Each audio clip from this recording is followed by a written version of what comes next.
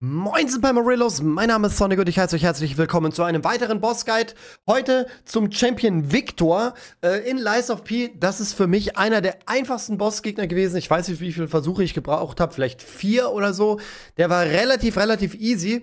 Und damit ihr den auch so easy besiegen könnt, ich meine, guck mal, der Bosskampf geht knapp sieben Minuten. Damit ihr den auch so easy besiegen könnt wie ich, zeige ich euch, wie ich den Dude äh, bezwungen habe. Der hat auf jeden Fall sehr, sehr viel Spaß gemacht. Das war schon einer meiner Lieblingsbossgegner. Erstens, weil er übel gruselig aussieht. Und zweitens ist der Dude äh, einfach ein cooler Kämpfer gewesen. Ja, ähm, hier haben wir schon den ersten Angriff. Äh, dem weicht man einfach ganz normal aus. Also der, der stürmt da am Anfang auf euch zu. So. Ähm, ich mache mir da schon ein bisschen Strom auf meine Waffe. Ich glaube, äh, muss man nicht unbedingt Strom nehmen. Man hätte auch Feuer oder, oder Gift oder sowas nehmen können.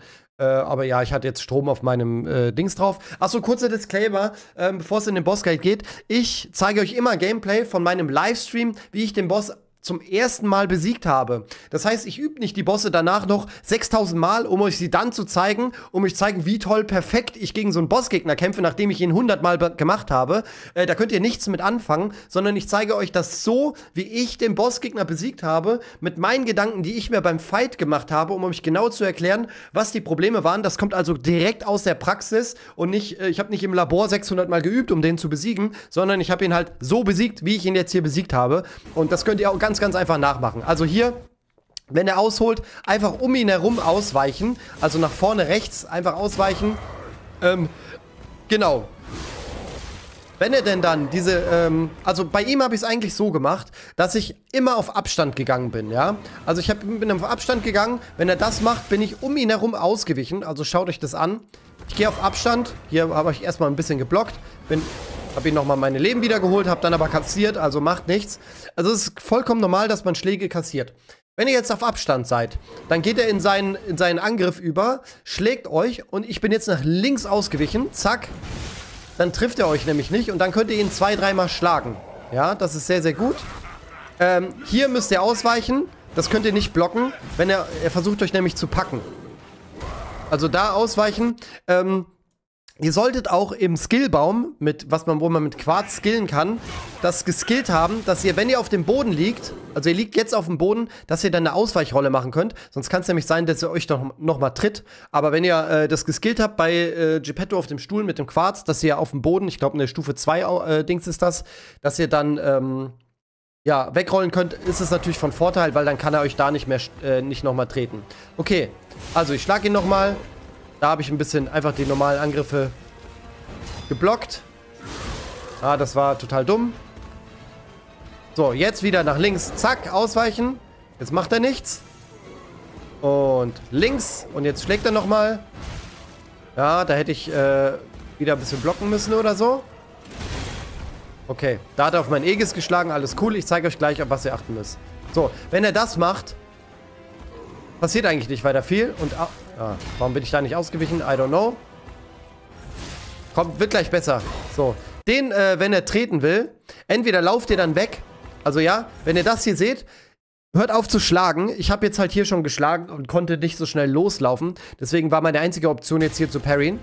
Was ich dann halt auch gemacht habe. Aber wenn ihr gerade nicht schlagt, dann lauft einfach weg. Ja, wenn er rot wird, einfach nach hinten weglaufen. Der trifft euch dann meistens nicht. So, wir sind auf Abstand. Hier, wenn er den Schlag von oben macht, parried. Ja, der ist voll easy zu parryen. Achtung, von oben, bam, einfach parryen. Da könnt ihr danach richtig schön draufholzen. Und ähm, ja, Haltungsschaden ist natürlich immer gut, um einen tödlichen Angriff ausführen zu können. Das macht schön viel Schaden. Zack. Sehr angenehm. So, jetzt können wir da noch ein, zwei Mal draufschlagen. Machen wir nochmal einen harten Angriff. So. Und jetzt gehe ich wieder auf Abstand. Wenn er das macht, okay. Wenn er anfängt zu reden, you so weak, lauft weg. Einfach umdrehen, nicht mehr blocken, weglaufen, ja? So, er fängt an zu, zu labern, lauft weg und einfach rennen mit Sprinten, ja? Mit Sprinten, rennen, rennen, rennen, rennen, rennen. Und danach könnt ihr ihm eine geben. So. So, jetzt müssen wir wieder aufpassen.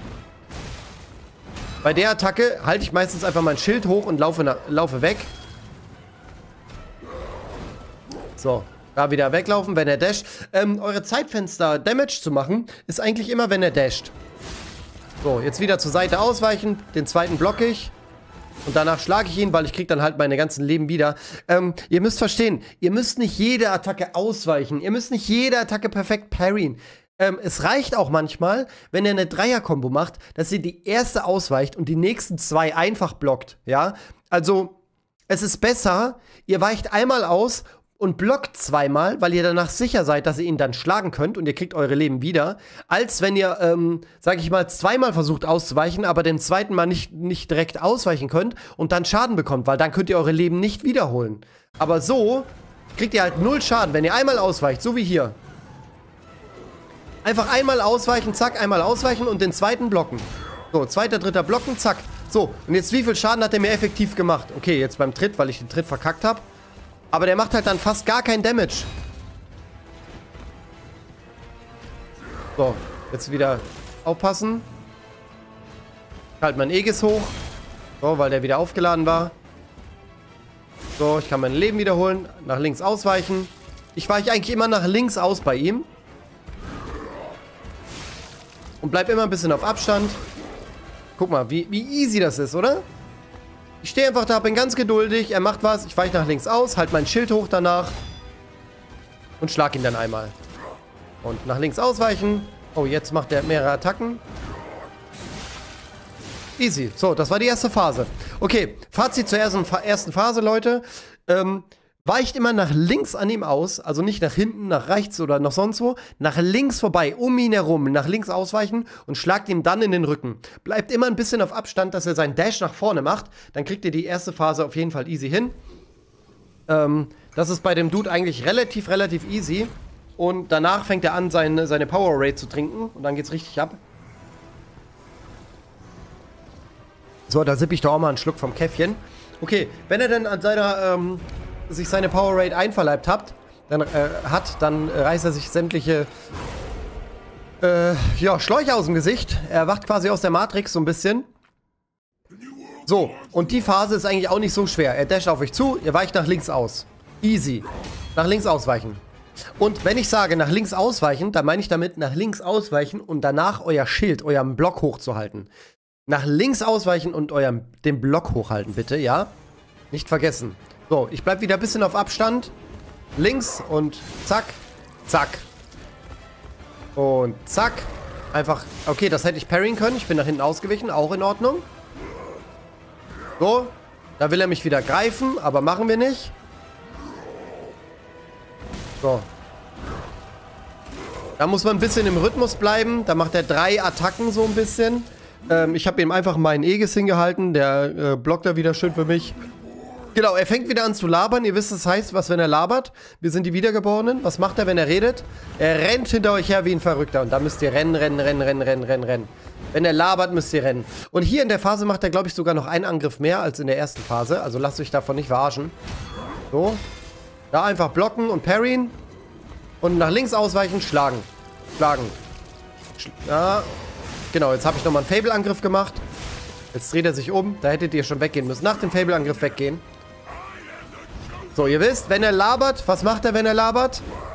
Er greift euch an mit 100.000 Schlägen. Und ihr könnt die Zeit zum Schleifen nutzen und links ausweichen und schlagen. Schlagen und weggehen. So, einmal den Aegis nochmal hingehalten.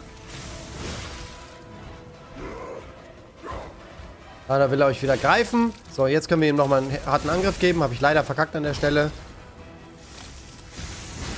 Ah, okay, da war ich zu langsam. Und Achtung, Schlag. Schlag.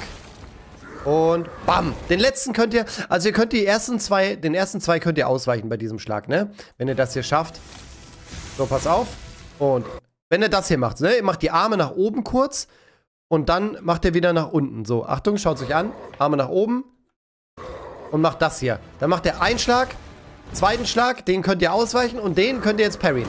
Den letzten kann man easy parryen, weil der ganz einfach von oben kommt. Wenn ihr ganz geil seid, dann parryt ihr sowieso alle drei. Aber wieder nach links ausweichen und schlagen. Links, okay, das war der Tritt. Kommt, genau, in der zweiten Phase kommen zwei Tritte. Aufpassen, habe ich aber auch beide parryen können. Und links. Achso, ja, okay, da müsst ihr wieder weglaufen. Diesmal hat er nichts geredet, was ein bisschen strange ist. Normal redet er immer. Und bam, parryen oder halt einfach blocken. Alles cool, wir können uns die Leben gleich wieder zurückholen. Wenn wir schnell genug sind. Und links. Ah, leider nicht getroffen. Ich stand zu weit weg, hab blöde ausgewichen. So, das hat man, hätte man parryen können. Aber ich habe ab dem Moment hier halt Angst gehabt, dass, dass, um ihn zu parryen. Weil wenn man es halt nicht schafft, ich habe keine Heiltränke mehr gehabt. Von daher. Und genau. Da wieder einfach weggehen und blocken. Und links. Achso, ich, okay, ich habe mein Aegis hingehalten. Jetzt habe ich keine Aegis-Energie mehr. Jetzt habe ich gar keine Leben und äh, natürlich habt ihr zu dem Zeitpunkt ja auch schon den Würfel dabei und wenn ihr da ein blaues Teil reinmacht, dann könnt ihr euch mit dem Würfel ja auch nochmal heilen. Das heißt, ihr seht, ich heile mich jetzt hier nochmal und nach links ausweichen. So, ich gehe wieder auf meine Ampulle und nach links ausweichen. Links ausweichen. Okay, das war rechts diesmal. Der hat mich ein bisschen blockiert. Einfach nach links ausweichen. Ihr wollt immer auf Abstand bleiben. Chargen. Weicht nach links aus. Bumm. Ah, das geht auch. Da könnt ihr auch nach vorne ausweichen. Also wenn ihr den nicht parryen wollt, ne, den Schlag von oben, einfach ausweichen und danach Schaden machen. So, jetzt habe ich meine Leben wieder. Guck mal, ich bin wieder komplett voll, obwohl ich eben fast tot war. Geduldig sein, einfach warten, bis er einen Charge-Angriff macht. Und ausweichen im richtigen Moment. Und zack. Er oder ich, er oder ich. Und da hat er kassiert und einen schönen... Ja, einen schönen letzten Schlag bekommen. Und damit ist der Dude auch schon tot. Und ihr habt ihn besiegt. Ich mache jetzt mal nicht, ich mache jetzt mal hier Pause, weil danach passiert was. Und ich will nicht spoilern, was passiert. Ähm, ja, so äh, besiegt man den Gegner. Ähm, ja, Fazit.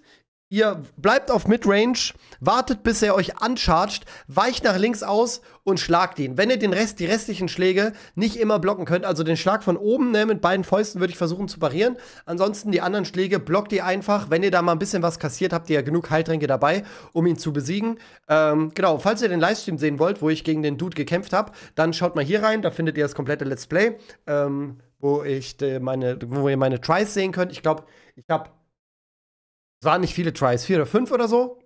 Lass es sechs sein, keine Ahnung, waren nicht viele Tries, dann habe ich ihn auf jeden Fall relativ schnell besiegt gehabt. Der war relativ einfach für mich. Ja. Und in der anderen Playlist findet ihr sämtliche Videos, äh, Boss-Guides, Tricks und Tipps, die besten Waffen und so weiter. Alle Infos über äh, Lies of P. Ich wünsche euch was, haut rein und stay Pam. Ciao.